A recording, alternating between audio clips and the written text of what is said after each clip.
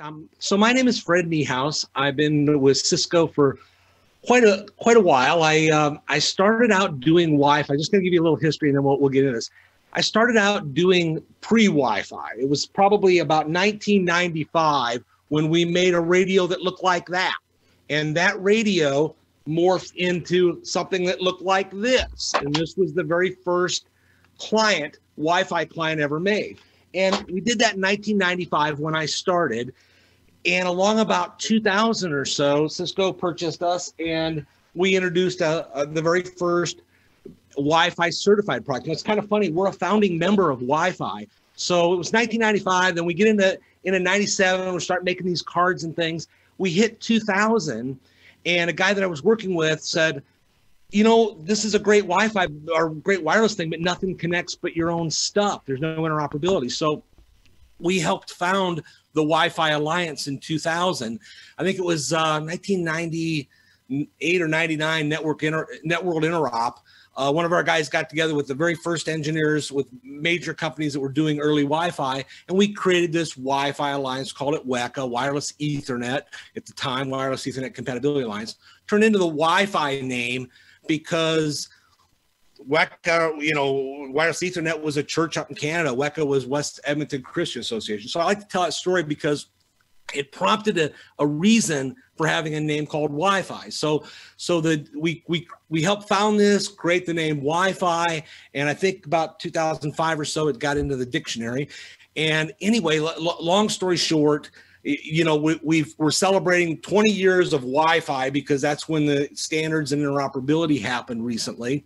And i've been doing it like i said for about five years before that. So my name is fred niehaus ham radio amateur radio guy nhcpi twitter's ohio fred. And i want to talk a little bit about some of the new stuff that we've got. You, you know you've probably seen the product line the 91 15 17 20 30 those are our high end you know cool APs, uh, you know, the, the 9120 and 30 have got that RF ASIC and things, but but I want to talk a little bit about something we haven't released yet, and I'm actually kind of fired up about it, and that's the 9105. The 9105 is a very small AP. That's just a marketing slick on. It's a two by two in both bands. It's got an MGig uplink in it. On there's there's a wall plate version of this AP, and then there's a standard you know AP looking access point that mounts on the ceiling and things. And it, um, you know, the use case on this kind of thing, what makes me happy about it is, you, you know, we're, we're talking about COVID, and, you know, we'll, you know, some of our other speakers will talk a little bit about that, but, but this is a very small AP. I can't tell you how neat it is because it, it's, it's really lightweight. It, it, it can be deployed anywhere for like remote workers, for teleworker. You know, the wall plate will work out great for a teleworker because it's got ports on it for other devices. You, you know, it, it's you know the, the traditional use case are things like you know hotels hotel rooms so that you can plug in the ip phone and all that or dorm rooms. But now it's remote workers and you know quarantine users people like that. This is the engineering uh, definition of it. it's kind of a little bit dry but but the you know the product name is is catalyst 9105 ax ax for 11ax and like i said it's a wall plate and a, a conventional you know looking ap it's got not only is it two by two in both bands, but it's also got all the Wi-Fi six features. You know, it's got got the IoT gateway ability, the built-in you know Zigbee BLE thread. It it the wall plate unit can actually do PoE out. Supports about 200 or so Wi-Fi devices per access point.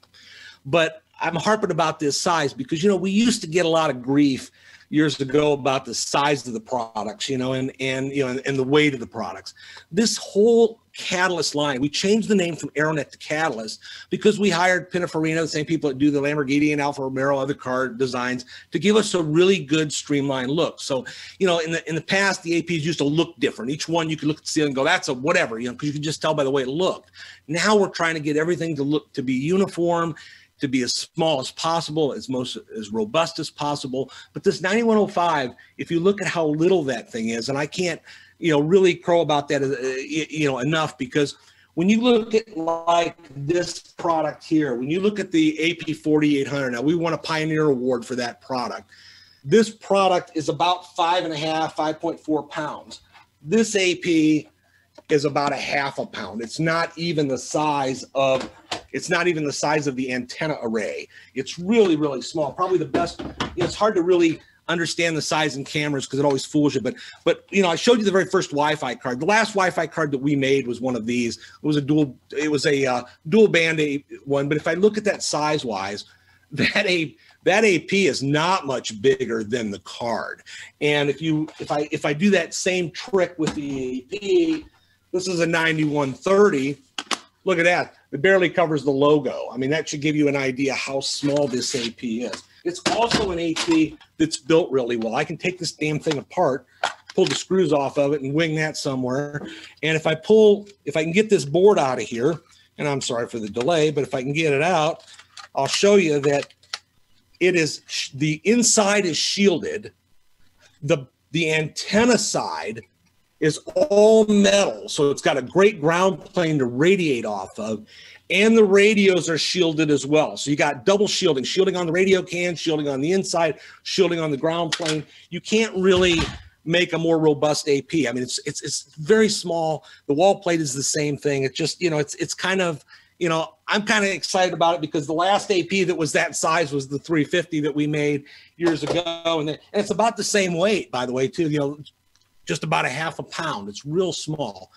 The bracket on this AP is is called an air bracket eight. It does not use the conventional air bracket one and two that we have with every other AP, and I hated that. But but here's the problem: the bracket from the original AP is much bigger than the AP is, right? So we made a new bracket, smaller, tiny, that'll go on the back of the unit. And um, if you if you take a look at the side of it, you know the port's got a gigabit Ethernet port, a console port on it. It's got a reset button on. Very you know same flow and look and feel of the other APs. When we look at things like the wall plate, this has a Kensington lock on it too. But if you look at the wall plate, the wall plate unit's got a side Kensington lock it's got a USB port. We did not put the USB port on the AXI. We only put the USB port on the wall plate because I want we're trying to get size thermals and everything as tiny as we possibly could. So this particular AP, the wall plate, is better suited if you have some application for USB or if you have a hotel mobility or hotel uh, or college dorm, something like that, because you can mount this wall plate right on the wall, and there's an uplink port and that uplink port will take take you in fact that's a that's an M gig port and not a gigabit port. It's an uplink port. And then there's a pass-through port. You plug the the ethernet connector into that and that if you have an ip phone or something that you want that's in that wall jack you know wall jack's got two ethernet some cables sometimes plug the secondary one in there and it pops out on the bottom. So it's nice because if you have a dedicated ip phone Ethernet drop or something in a hotel room, you just flow it right on through and then plug the phone in the bottom of the AP.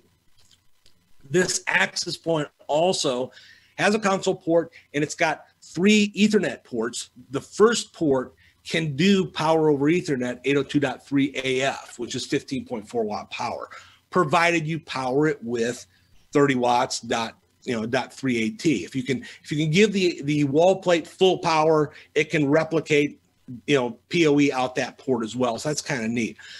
The one thing about these APs that are amazing is if you look at the 9105 AXI, that small small AP that I just whizzed, that it's 11 watt draw. I mean, this thing has got full Wi-Fi 6 functionality. It's got the faster processor, more RAM, all the hardware that you know that you want in in the AP for performance. You know, but it doesn't have. It's not a four by four. There's not four transceivers in each band. There's only two transceivers in each band. So we were able to really optimize the, this this product at 11 watts. So I think that's amazing. And even the wall plate AP will run on AF power down around 13 watts. If you don't have requirements for USB power out and you don't have requirements for PoE out. So, you know, the, the, the, idea here is, is everything at 11 watts. Now, I've got a kind of a busy slide just to el- eliminate the questions. Well, what do the other products draw? Well, I've got a reference slide here where I put all the products down and exactly what their PoE consumptions are. I'm not going to dwell on that, but have it. The 9105 wall plate and you know infrastructure AP, the MTBF, mean time between failure. I want to touch on that a little bit.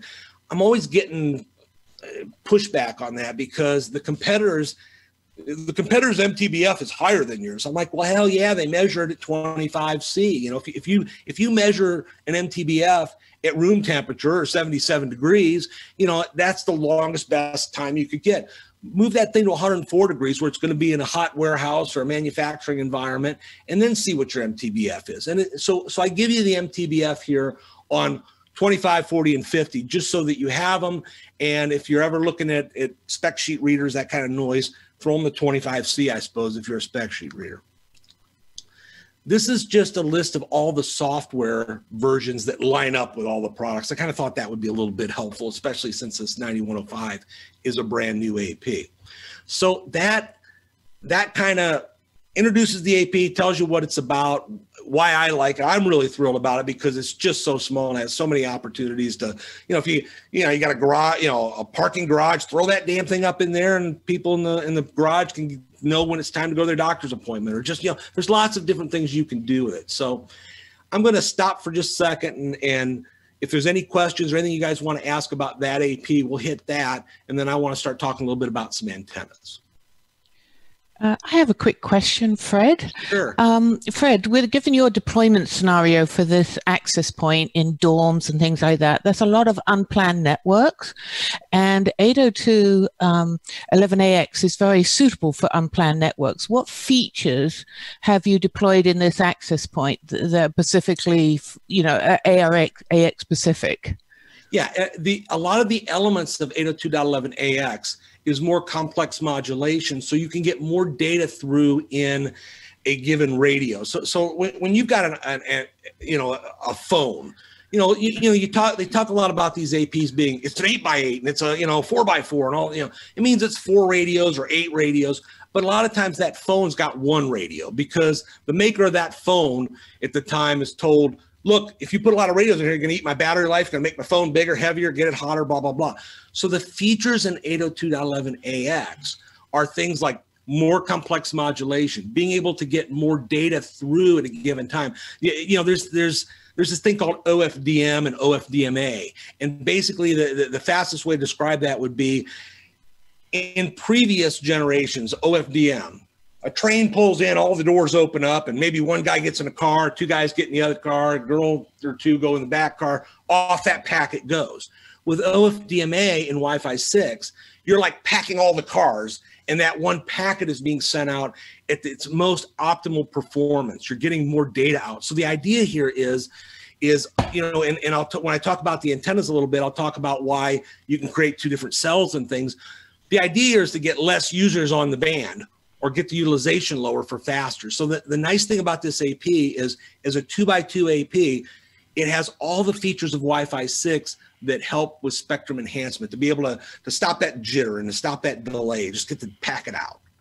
So if I can jump in there, Fred, and just uh, ask for clarification.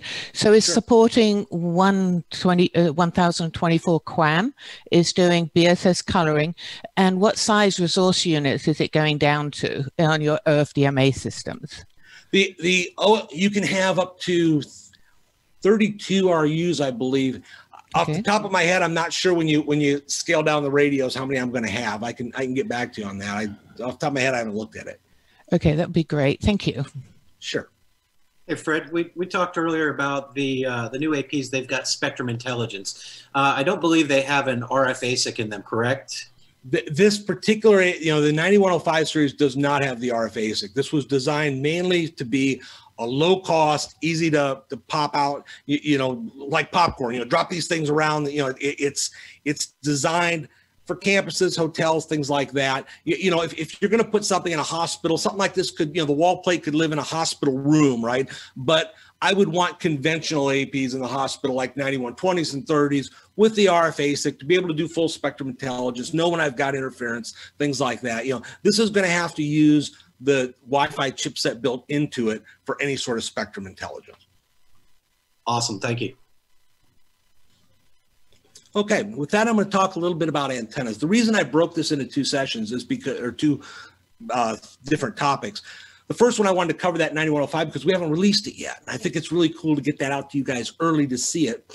And then in the field, when you deploy products, people don't always understand a lot about radio and antennas. And I just kind of wanted to try to you know go through a little bit of that if you don't need an external antenna, if you're in a carpeted environment, you're just putting it in the ceiling, you're better off without external antennas because you know it's more attractive, it's smaller, it's easier to install. You know, a lot, lot of things that that are positive with units that don't have antennas. However, units that don't have antennas are limited. They they radiate in a 360 degree pattern. You can't focus it. You can't change the cell size. I mean, you may you can change the size from a big size to a little one, but you can't cover different areas. You know, when you when you go into an external product, you know you can use higher gain antennas that are on you know the the antenna on the internal one is limited like 4 or 5 dbi i can use a 13 dbi a much higher gain antenna with the external models and that allows for farther range you know when you have an antenna and you focus it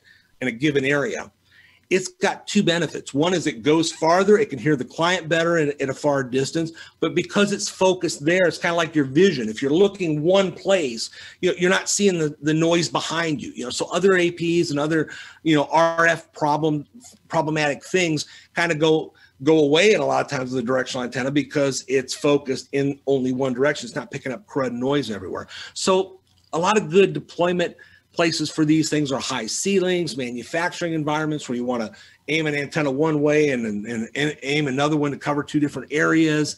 If you've got a hazardous area, like maybe you're a, you know, a, a coal mine or a place that's got knocked, you know, a, you know hazardous gases and things sometimes you can't have active components in that area so you could put the access point you know inside, you know, away from that area and put the antenna outside. Or the same with like a maybe you're a freezer and, and the tow motor drives into the freezer and the freezer's all metal and you know, and as soon as it goes in there, it's dead, you know, where you know, because it's a it's an RF cage. Well, you can put one of the antennas in a freezer, out of a freezer. There's just lots of reasons why you want external antennas. And Fred, real quick, could you could you just explain a little bit because I think it's important. I think a lot of people overlook it. The distance of APs off of a floor. Um, could you just go into a little bit about like how high is too high, and maybe specifically for these particular APs? Sure. When you when you look at a product like the you know the 9130 or any of them, you've got an antenna that that's very fixed. Okay, it's this and you know this this little element right here, and when it when the antenna is mounted the way it's supposed to be on a ceiling like this, it radiates down and outward in a 360 degree pattern, but it's limited to whatever the gain that antenna is. And once you start going higher and higher and higher, part of the problem is that if I've got more than one access point, say I've got, you know, the, you know, I've got the access point here and another one here, and we're way up high on a ceiling, the strong signal from this one is at the same exact plane as the other AP, way up there at 35 feet in the air, however high it is. So they start to hear each other and then RRM says, hey, you know, I got a great signal over here. I'm going to start turning power down. Well, it's turning power down. It's killing your client down below that's 35 feet trying to get up, right? So, so sometimes it makes sense, you know, to use a directional antenna like a patch antenna. You know, they got, they got antennas like this one. It's basically a 6 dBi patch, and you could put something like that up on a ceiling and angle it down, you know, 35 feet to cover a long aisleway. There's no one way to do this. You, you know, it, it's, you know, if, if you use use the, the features that, that I'm going to talk about a little bit called flexible radio architecture to, to create, you know, like two five gig radios, things like that. You can do that up in a ma- manufacturing area and cover it. And, uh, you know, but, but these antennas use conventional uh, what they call RPTNC connectors, right? There's different different kinds of connectors out there in the industry. You know, there's N connectors, RPTNC connectors, and when you're trying to make a decision as to what to do, it's kind of hard to really understand that. So let me let me dig into that just a little bit. Right. Let me ask a quick question, and, and sure. I think you're probably going to cover this, and, and and you can absolutely tell me that, and and and I'll and, and we can. No, no worries. Go for um, it one of the problems I see with a lot of access points, and I'm curious on, on if Cisco's this this way, is you guys have you're adding a lot of extra radios in, right? You're either adding radios in for diagnostic purposes, for 802.15.4, um, you know, all, all of those other radios. But often those radios aren't actually hooked up to antenna lugs or or anything else, right? So as soon as you put a directional antenna on that, the the reception and and the the signal coverage that you're getting for those for those uh, additional radios are not what you're getting from the client serving radios. So, so I'm seeing that on on APs across the board, and uh, and I'm not putting it specifically on Cisco. I'm curious to hear from Cisco about that. Um, that obviously creates its own problems, right? Sure. Uh, a couple things. If you are if you're using a feature like BLE, right? BLE require you know you know it, it it beacons right? So so you you want the ap in the in the near field of the person and beaconing right? If you go to a directional antenna it's going to be going where where you're pointing it right? So you have to look at it you have to take into consideration that we did an awful lot of things with the 9130 because the 9130 if you if you take a look at the two pictures here the 9120 has four RPTNC connectors, and then there's a, a four port dart on the side of it that allows that to, to bring it out. So, so by default, you have 2.4 gig and 5 gig on the four RPTNCs.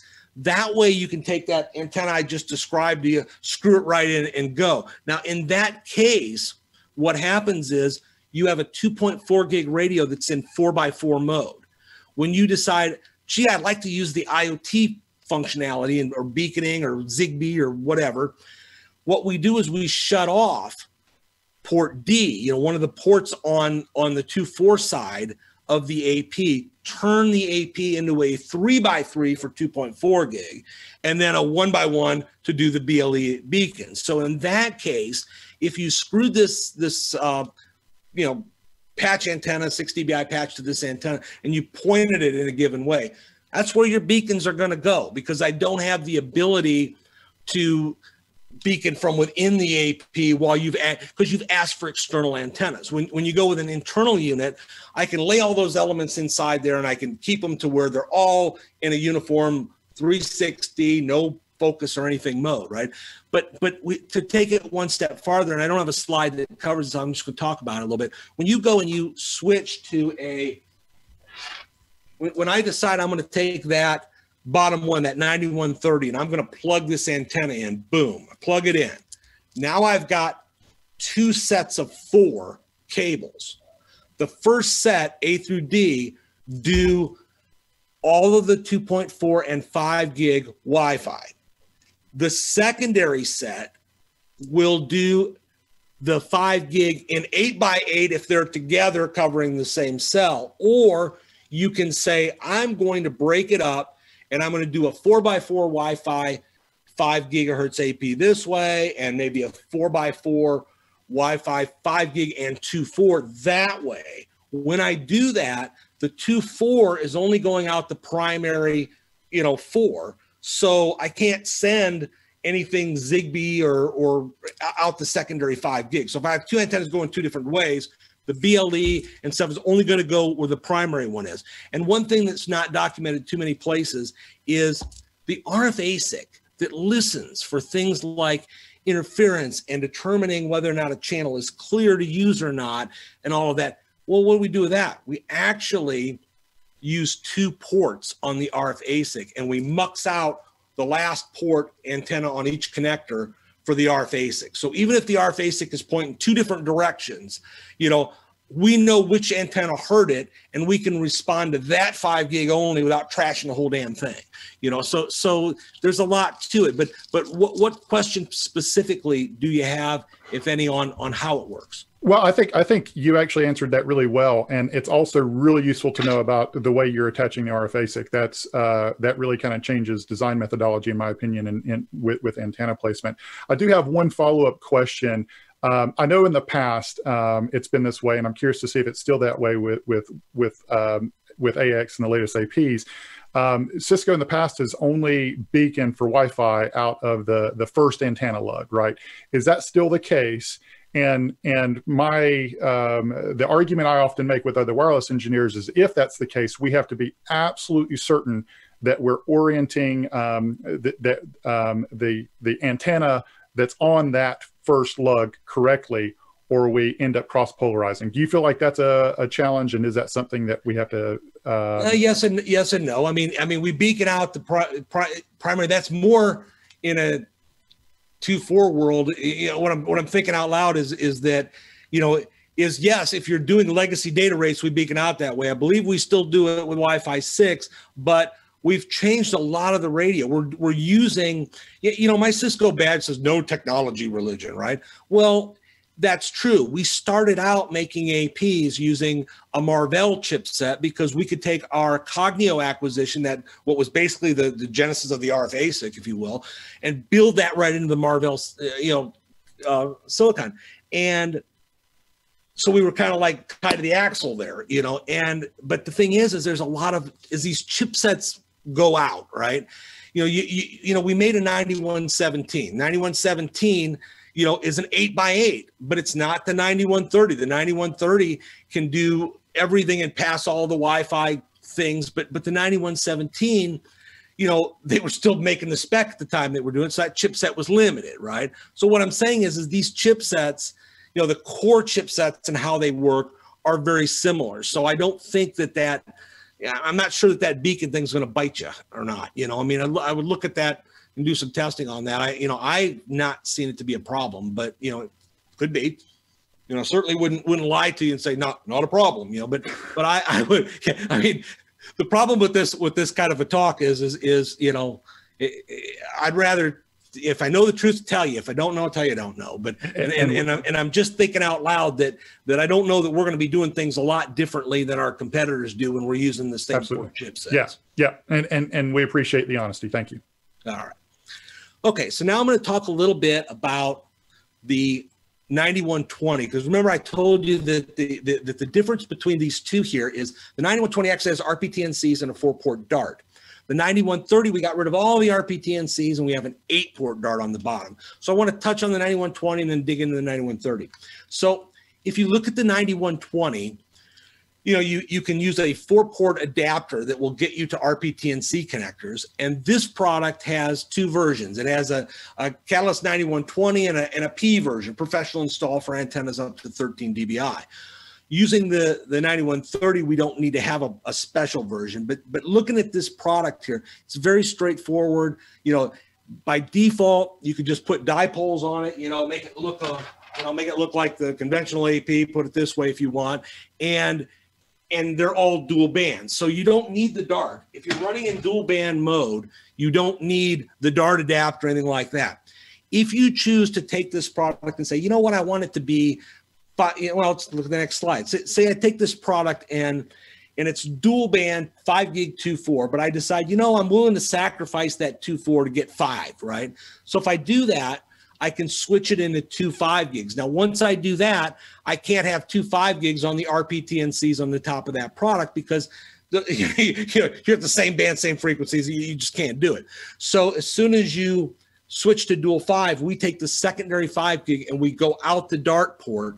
And now you've got a, a, a situation where you have this antenna, maybe the patch antenna is on one of the on the RPTNCs, and it's doing two four. I'm sorry, it's doing five gig only at that point. If you choose dual five, if you choose two four, it does two four and five on that, and then the other Dart connector allows you to plug in a separate antenna for a different direction. So it's a lot cleaner to do that. I like the Dart. We did this whole Dart approach mainly to, to limit eliminate you know, 5,000 of doing this. You know, you know, if you've got to install something, you know, my, my mom had a, oh, a, a, minor stroke recently. I was at the hospital looking at that. I'm like, you know, that antenna isn't even screwed on. One's pointing this way. And, you, you know, things just kind of degrade sometimes with RPTNC connectors. And it's nice to be able to plug in everything with a dart. If you look at this product also, this does something no other AP I think in the market can do. At least none I'm aware of. There may be a competitor that does it, but I don't think so. If I wanted to, I could send instead of having 2.4 and 5 gig on the top, I could send 2.4 out the dart. I could actually split this into single band products. Why would I want to do that? Well, maybe I'm the military and I want to take that 2.4 and upscale it to a different frequency, or I want to go do something else with that, totally unrelated to maybe what most people would do. But I fought to have that ability to, to be able to switch things in and out on RF and, and give you the flexibility that you want to be able to do it. So, so that's kind of the, the 9120. The 9130, like I said, that's our flagship. That's the best product that we make. That product is is a true eight by eight. It's got this tri radio, which means it can do dual five and 2.4 gig. When you ship, when the thing ships, it looks exactly like the 9130 AXI, like the internal one, except there's a yellow cap there. You pull the yellow cap off, you now have all your eight antennas and you have 16 lines of digital. And the idea here is a single insertion. You know, if, if I wanted to install this product, I don't have to screw all those RPTNCs, do the cable management, all the mess. You know, I just it's a one plug-in, I'm done. So that's that's really where it it shines. If you look at how that breaks down, the default mode is you've got five gig and eight by eight, 2.4 and four by four. They all flow out the Dart. If you look at how the Dart is, and I didn't put the RF ASIC and the IoT and stuff on this this thing, it's pretty simplistic chart. But A through D is dual band and the IoT goes out D. You know, we'll shut off D and put it in three by three mode if you need IoT out of it. The five gig is the secondary five gig, or it's the primary five gig if you're running in eight by eight mode. Now, as I mentioned before, with the 9120, you had to have a professional version if you wanted to use antennas 13 dBi or so. What we did is we made two Dart, two Dart adapters to get you to conventional connectors. The first Dart one gives you RPTNC and allows gains up to 6 dBi. If I want to use a 13 dBi antenna, there's a Dart with N connectors, and that way it'll screw onto the stadium antennas, things like that. We're designing a lot of different antennas for this product. I'll touch on a few of them in a bit, but you know, why do you want to go from eight by eight to two four by fours? That's probably a, a question. You know, what's the benefit of this tri radio, right?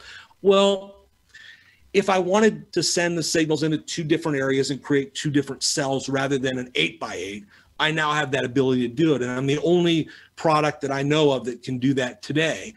And you know, not all all use cases benefit dual five gig. I mean, you know, you might have have a case where you're in a convention center or something and you have you know tons and tons of wi-fi 6 clients and you know what i want multi-user MIMO to work in its full bang mode with 8 by 8 and everything running you know i might want it in 8 by 8 mode you know or i might say i'm going to take part of that convention area or whatever break it off into two different cells is 5 gig this way and 5 gig that way you, you know it's all about you know flexibility you know i mean marketing people it's investment protection. Yeah, yeah. It, it's about flexibility. It's about being able to take that RF and do the things that you want to do with it. Maybe I want to make right. a five gig cell outside and do two, four, and five inside. I could split it out and cover a park area or something. Question?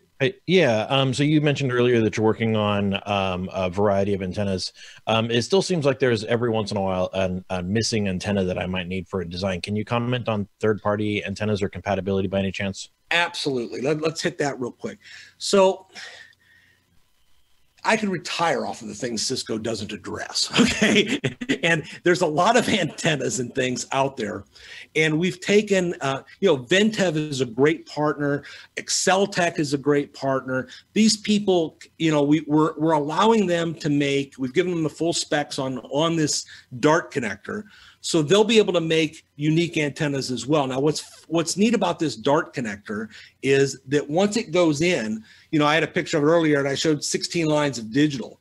We can read what is inserted in that unit, right? So we're working with partners so that when you take a partner antenna and and you put it in, it'll know it's it's an AccelTech or Ventev. It'll know what its gain is. You know, you know, we're working on trying to build up a partner ecosystem to work with that, but what's nice is that they have that spec. When, when when i do something simplistic like i say these two dart adapters there's very very limited logic in that dart adapter. One the, the logic in the in the one for 6 dbi it's just jumps so gpio pins and the things say this is a 6 dbi antenna.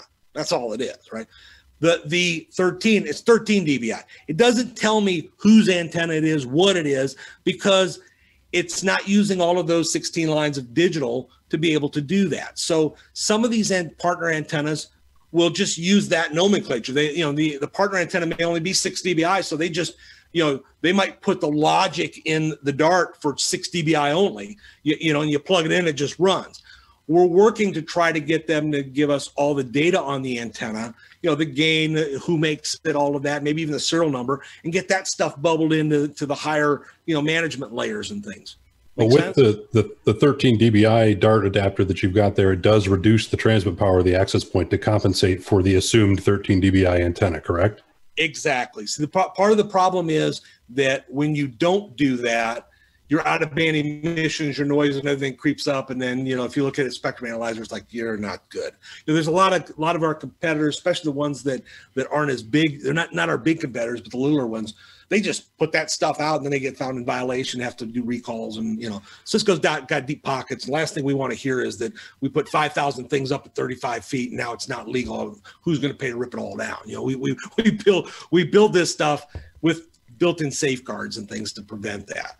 So now we, we're no longer responsible for going in and setting antenna gain. Um, it, it's doing it automatically. Is Yeah, there the- a way? Is there a way of overriding that? So let's just say that we're we're using a 6 dBi antenna that actually has N-type uh, lugs on it. So we're using the the 13 dBi dart that's actually only 6 dBi. Is there a way of overriding that, or is it just just Well, if set? you were if you were to plug in a six dBi antenna, you know, a dart adapter, you'd have RPTNCs. If Yeah. you all of a sudden then put a 13 dBi antenna on it, okay, you know, you could argue, yeah, well, I went in and I turned the RF power down, I did, you know, did these things, and I'm okay, right?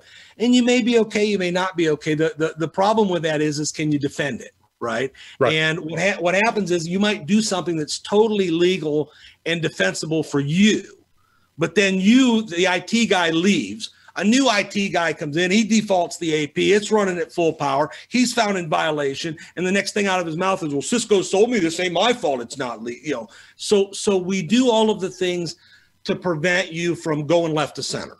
okay. Can you go left to center? Oh, hell yeah. I could take that 9105 and take it apart and bring, bring the antennas out and do all kinds of things that may or may not be Sure. legal, you know, and, and, Sure. and that's why I love that 9105 because it's so little and it's just, you know, you know, I can put three of them in an, in an area and take no space, you know? So, Right. Yeah. But and- a good and I guess RF the reason- engineer will make sure that you're in regula- regulatory domain compliance at all times. Right. Right. Absolutely. Yeah, Yeah. yeah, and it's, it's not so much, I, I'm not so much concerned about whether or not I can exceed, you know, compliance. It's more about if for some reason I'm using a lower DBI antenna that happens to have, say, N-type connectors, can I, you know, can I enable it to put out that that that Yeah. higher power? In general, we let's be honest. In general, if we're if we're coming close to matching our clients, we're not going to get close to that anyways. But that was just kind of the. I just wanted to know if that was a software Yeah. setting. if I gave you that knob, it would be hard for us to defend it if it was running that way, right? Like like RxSOP, which to to get off tangent a little bit. Sure. RxSOP, re- you know, receive start a packet. I I, I call it receive squelch, you know, you know, because you know, you're turning up the squelch so it doesn't hear, right? And and you know, if you do that, you, you know, you can run in environments. I've got an AP that's you know 40 feet away or whatever, making all this damn noise. I could RxSOP that thing all the way up to I don't hear that thing. You know, I can keep running. And you know, is that a good thing to do? Well, you know, what happens if if you're your last day at work, you turn RxSOP on all the APs so high they can't even hear them, and you check out. you know, how are you going to figure that out, right? You, Sure. know, you, you know, we we try to do things to keep you from going left to center. Uh, if you got if you throw money at it and time at it and skill, you can do damn anything you want. Okay. Thank you. Hey Fred, I have a question for you. Um, on the um, the 9130 datasheet published by Cisco, and I hate to put you on the spot with this question, but it says on there that the tri radio mode and uplink multi-user MIMO will be available in a future release. Can you confirm that it's actually available today in today's release? Yes, I believe I believe it is available today. uh, You know, with, with the latest code. Um, you, you know, I I'm not a lab rat. I mean, I, I haven't tested a lot of the things you know on, on the end of things, but uh, but yeah, if, if it's not on by now, it's it's a fair grouse. It's Then it must be a, a But- well, documentation the spec problem. sheet. The, the problem with the spec sheet. uh, Let me let me hit on that. Every time you write a doc, and we do this all the time, we create matrices and we say this works with this works and this works. You know, two weeks after you've done that, it's old, right? And and and and I I think that that spec sheet likely needs revised. You know, and and if I'm wrong and it's still not in there, when I get off this call, I'm going to make sure it is and and and push it hard if it's not. The the compatibility matrix seems to indicate that it's currently supported in shipping. Yeah, code. I believe it is. You know. Cool. Thank you. Okay. So I explained why you might want to try radio, why you might not, you know, a lot of different things. Uh, this is a slide that's older than I am, I think, but, but it, it kind of it, it tells you a little bit about before there was Wi-Fi six, you had to do things that would make channel utilization get lower, right? So you know if if you're on a single channel on an on an AP with omnidirectional antennas, everybody's on connecting at whatever speed they connect at. The people close in connect at a fast speed, far away people slower speed. In that kind of a scenario, you got like the channel utilization is like at 60%. And you know, for just to put a number on it, right? If I can take the AP and use this FRA flexible radio, create two five gig cells, make a micro and a macro, then the people close in connect at their more uniform, faster speed. The farther ones connect away at their slower speed. And I've taken two channels now instead of one. So instead of one channel, 60%, I'm on one channel at 20 and another channel say 24%. So I've, I've dropped it from 60% down to 44% and also split it across channels. So the takeaway is the user gets less retries. It's a better experience. You, you know, now BSS coloring, a lot of other things are trying to do similar things by turning power down. If you're a client, you know, you know, the, you know, we did this on the AP side. Unfortunately, we had no ability to change it on the client side. So BSS coloring will, will kind of let it know about things, let them coexist, turn power down a little bit on them. And it's a more granular and probably a better way of doing it than this. But this, today with legacy clients is still a, a, huge thing. So, you know, it's, it's important to be able to do those kinds of things.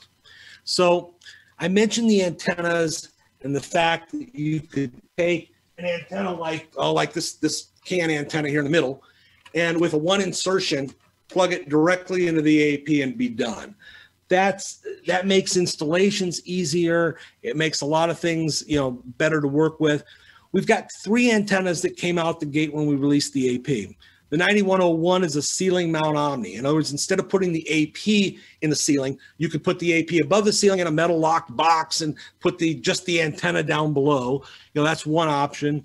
Then there's a pole mount Omni, the middle one, where where you in a manufacturing environment you might put that on an eye off of off to the left of an I beam to to cover a 360. And then there's that 2566 patch I told you about. You know, antenna I was waving around that flat panel one. You know, instead of having a flat panel antenna like this and then a cable mask go into the AP, what we did was we created this new look. We made the the antennas actually look like the APs. We, we put an LED in them so that they flash. We we you know so it mimics the LED on the AP. All three of these antennas have LEDs on them.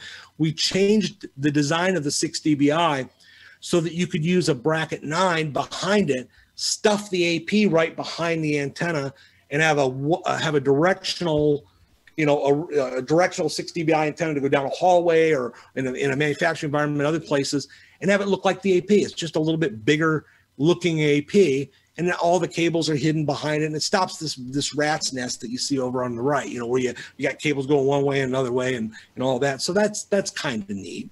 Uh, there's a list of approved antennas for this product. You know, I just put a, just took this right out of the hardware installation guide. Be, you know, just so you, if I'm going to give you the POE draw, I might as well give you the antenna, uh, you know, approved antennas.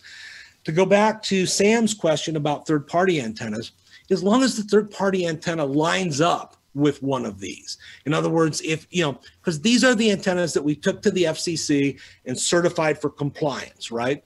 So if if a third party company makes a 13 dBi antenna, that's great. If they make a 14 dBi, we didn't submit that for qualification, right?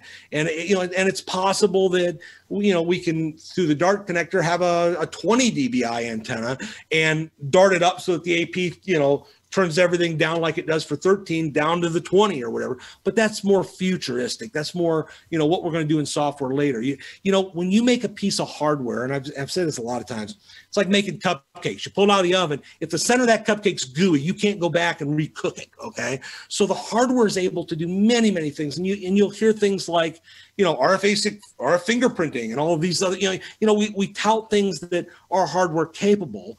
And then time tells whether we put the energy in the software to do it right? So so right now this product supports these antennas any third party antenna that's of like design and gain may be used and it's and it's really simple to to, to look at the chart and see.